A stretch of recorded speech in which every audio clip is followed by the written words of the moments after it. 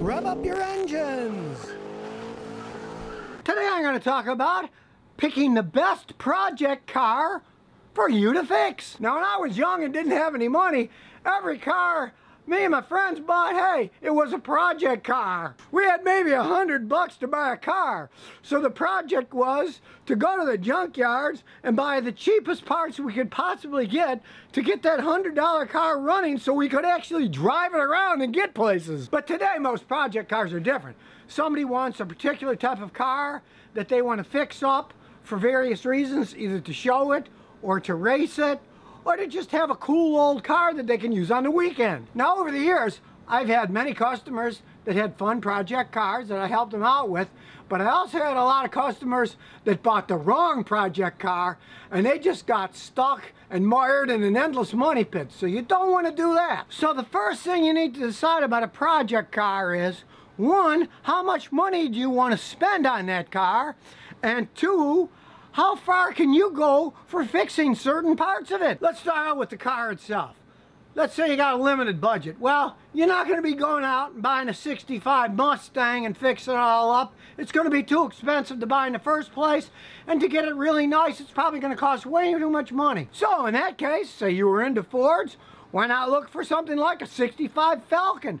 Find something that wasn't quite as popular. It might even be a little more unique if it's an old car and you can still have fun with it but not spend a small fortune. And when it does come time to buying a project car, realize that there's one myth out there that people are always believing and I don't know why, but they think that all old cars are worth a lot of money and even classic cars, they value them way too high.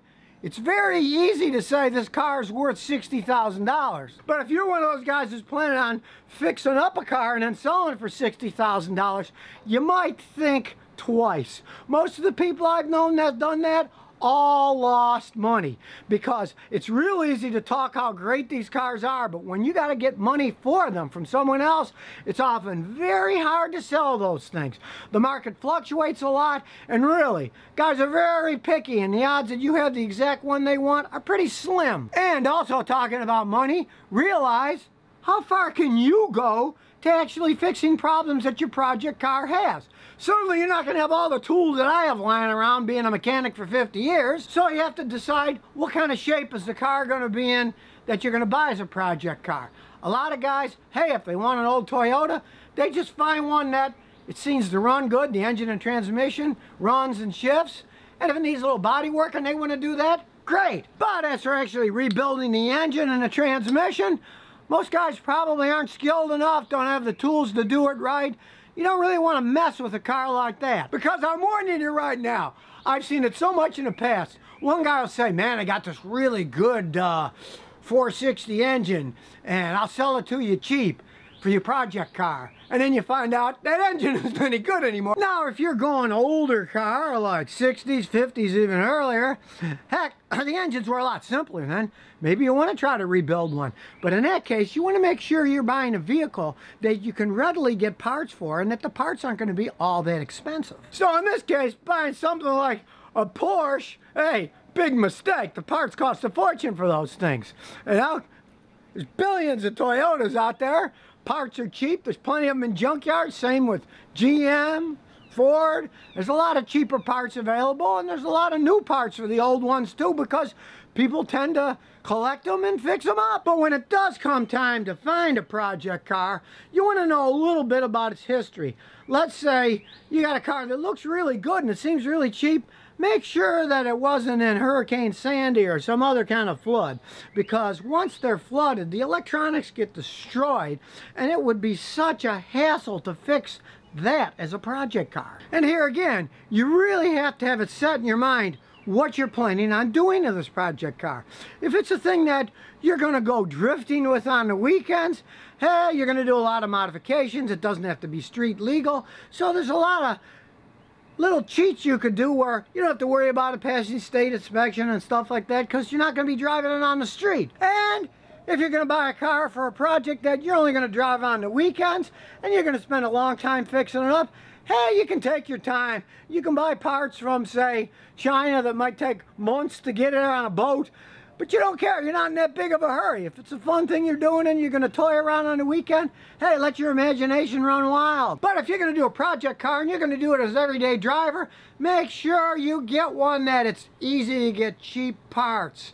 Pick a model that's sold widely. So there's a lot of them in salvage yards that you can get parts off and save a fortune. As an example, I had a customer had a Project Honda Accord. He got it real cheap because the whole back quarter panel was all smashed in. The tire was at a 90 degree angle.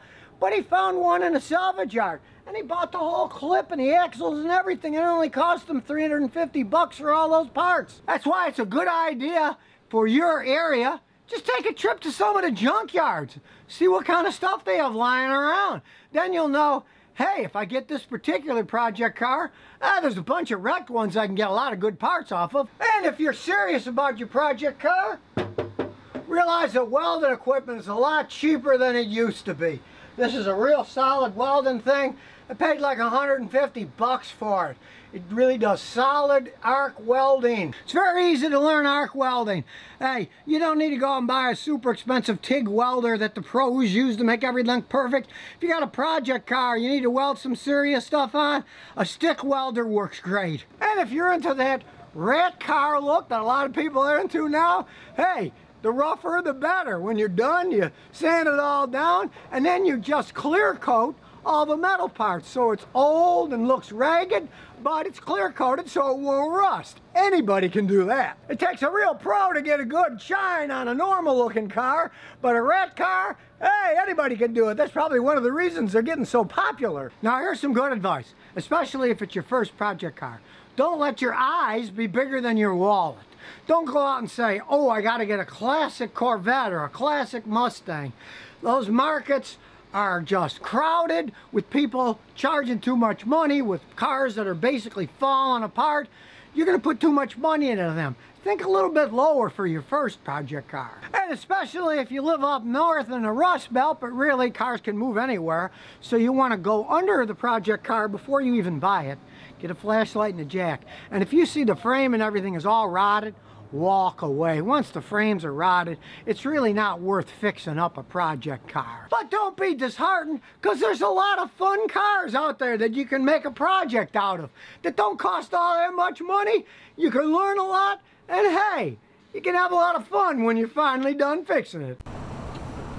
So if you never want to miss another one of my new car repair videos, remember to ring that bell.